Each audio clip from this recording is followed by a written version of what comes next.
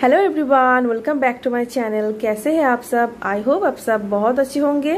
तो मैं आज आप सबके साथ एक नया वीडियो शेयर करने जा रही हूँ, जो पूरा अलग होगा। तो आज मैं, मेरे घर का पूजा छोटा सा पूजा है तो वही मैं आज आप सबके साथ शेयर करूँगी।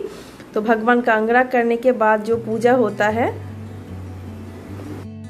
तो अभी मैं भोग बना रही हूँ तो भोग में मैं बनाऊँगी पूरी दम आलू खीर और मालपुआ। और बाकी दिया जाएगा पाँच तरह का फल, पाँच तरह का मिठाई, दही, ये सब कुछ दिया जाएगा। ऐसा कोई धूमधाम करके बड़ा कोई पूजा नहीं है, कोई अनुष्ठान ऐसा बड़ा नहीं है। छोटा सा है, सिर्फ़ कुछ नियम का पालन करने के लिए ये पूजा हो रहा है। जैसे भगवान को नया बनवाने के बाद मतलब जो भगवान जब मतलब मूर्ति जब पुराना हो जाता है, तब कुछ नया बनवाना पड़ता है। जैसे उसका कलर खराब हो जाता है, कहीं कहीं से टूट जाता है तो ऐसा ही हो गया था हमारा घर का मूर्ति। तो वही भगवान का मूर्ति जो एकदम पुराना हो गया था 40-45 साल पहले का है तो इसीलिए बहुत ही ज़्यादा खराब हो चुका था। तो उसी को नए तरीके से बनवाया है, एकदम पहले के नया जैसा। तो उसके बाद जो भी नियम रहता है, उसी के लिए ये अनुष्ठान है।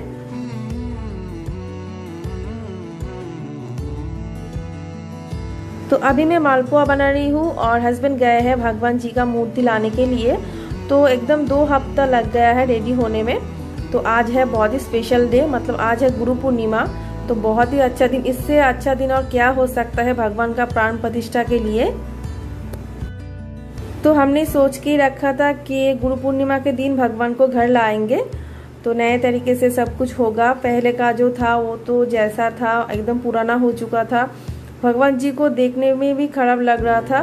तो आज देंगे, कल देंगे, या घर में, घर से बाहर भगवान का मूर्ति ऐसे देना चाहिए कि नहीं, ये सब सोचते सोचते दो साल ऐसे ही निकल गया।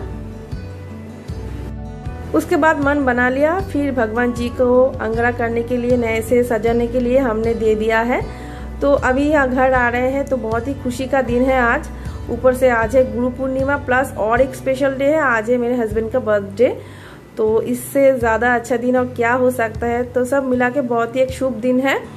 और इसी को हम सेलिब्रेट कर रहे हैं। एकदम छोटे मतलब छोटा जो होता है सेलिब्रेशन वैसा ही है हमारा सेलिब्रेशन ऐसा कुछ बड़ा कुछ नहीं है।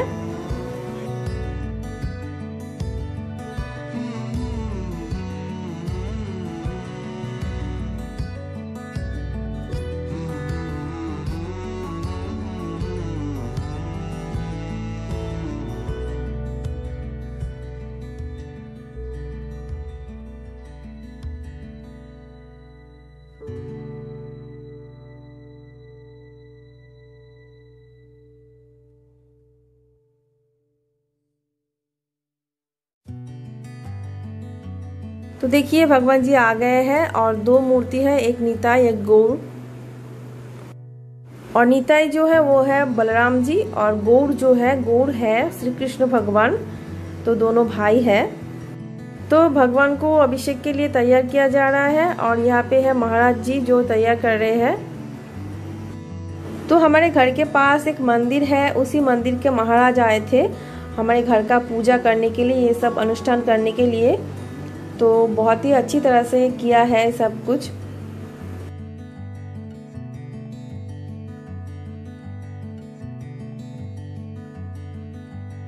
तो देखिए महाराज, अभी जो हमारे भगवान को तुलसी का माला पहना रहे हैं और नीचे जो बैठे हैं वो उनका मंदिर का पुजारी है तो उन्हीं ने सब कुछ किया।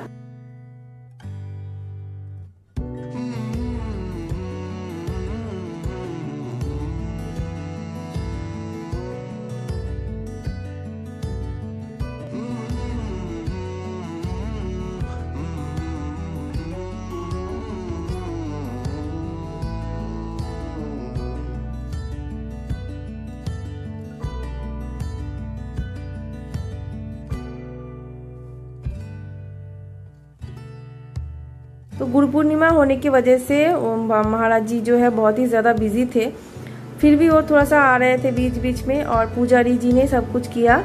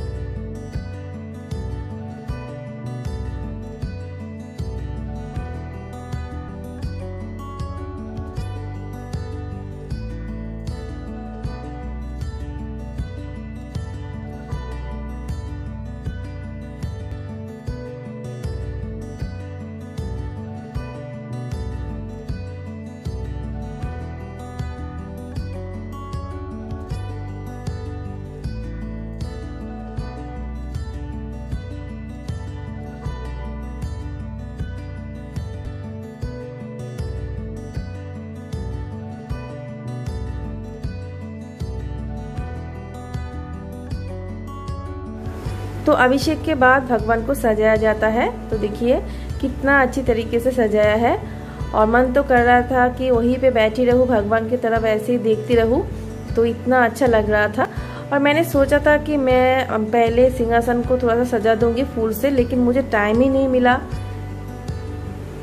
तो हमने तो सोच लिया था कि भगवान जी को जब अंगराग के लिए भेज देंगे, तभी उसी टाइम में मंदिर को भी थोड़ा सा नया बनवा लेंगे।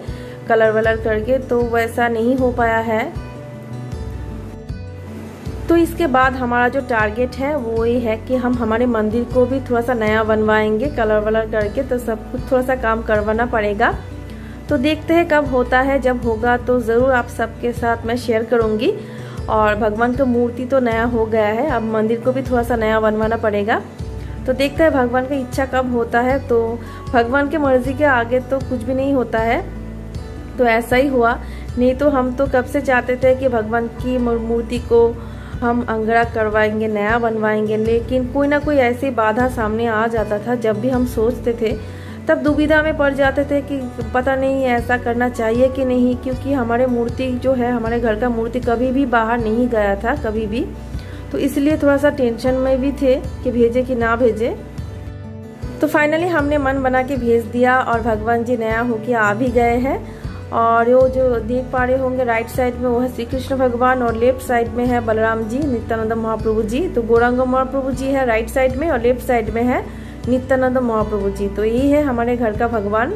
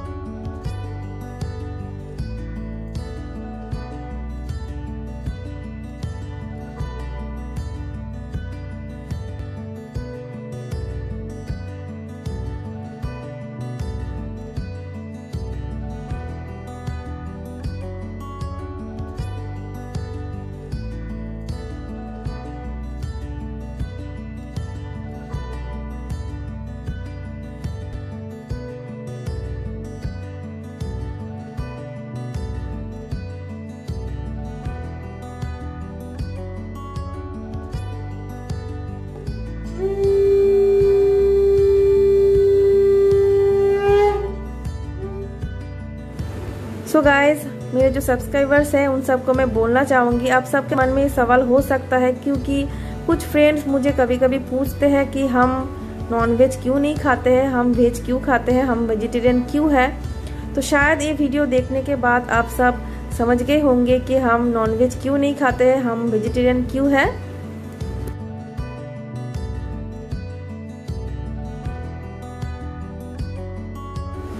और जो मेरे नए फ्रेंड्स हैं, उन सबको मैं बोलना चाहूँगी, अगर आप मेरे चैनल में नए हैं तो प्लीज़ मेरे चैनल को सब्सक्राइब कर लीजिए, साथ में बेल आइकन को क्लिक कीजिए। और अगर वीडियो अच्छा लगा तो एक लाइक ज़रूर कर दीजिएगा।